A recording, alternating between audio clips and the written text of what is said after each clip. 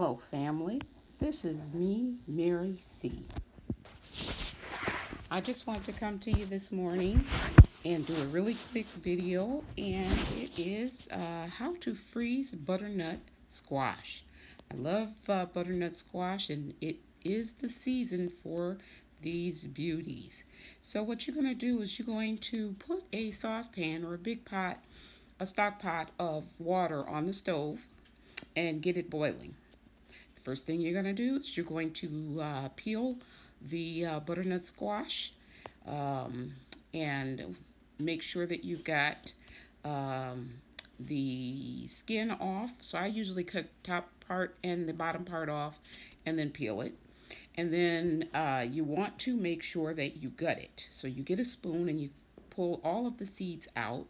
And then you want to, once you scraped all the seeds out, you want to cut it up into nice cubes. You got your water boiling and you are in the process of cutting those cubes up. You put the butternut squash in the water and this is the image of the butternut squash after it is boiled. So you want to boil the water and let it sit in the water for about five minutes.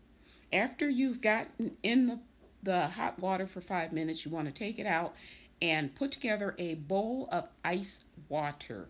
And as you just saw, you want to put transfer that hot, the hot butternut squash into the hot the uh, ice water for another five minutes or until it cools off, and then you can go ahead and transfer the cubes into freezer bags.